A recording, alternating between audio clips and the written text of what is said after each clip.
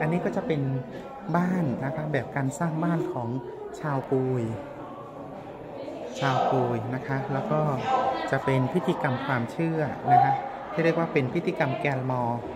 เป็นความเชื่อในวิธีแห่งการบำบัดและการบูชาการสักการะนะคะเนาะก็จะมีสัญลักษณ์ต่างๆนะคะมีปืน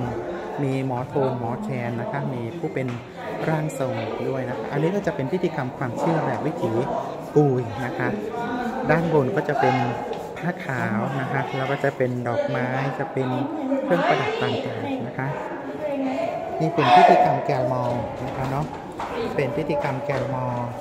เป็นการละเล่นประกอบดนตรีเพื่อรักษาอาการป่วยมีจุดประสงค์เพื่อให้ขวัญและกำลังใจแก่ผู้เจ็บป่วย ส่วนมากเล่นหลังฤดูเก็บเกี่ยว และเล่นเฉพาะในวันอังคาร เพราะถือเป็นวันแข่งวิธีเล่นผู้เล่นจะนั่งล้อมรอบเครื่องบูชา ซึ่งประกอบด้วยขนมข้าวต้มผ้าสิ้นผ้าสบายกระจกหวีแป้งนะคะกรวยขันห้าขันแปดทูบเทียนไข่ไก่เหล้าและเงิน24บาท โดยครูบาจะทำหน้าที่ในการอัญเชิญดวงวิญญาณบรรพบุรุษ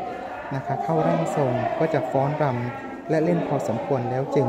อตอนออกโดยแสดงอาการพนมมือ